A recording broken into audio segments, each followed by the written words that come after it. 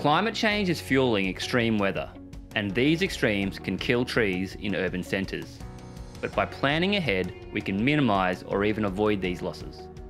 Some trees are better suited to extreme conditions than others, and while a poorly selected tree can grow and reach maturity at first, it faces an uphill battle to survive compared to a better selected tree. Heat waves and drought from climate change stress trees, and water is often in short supply at these times.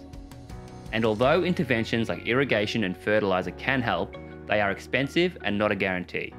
A tree that is planted in the wrong place could die anyway, which is why planning ahead using climate predictions can make all the difference.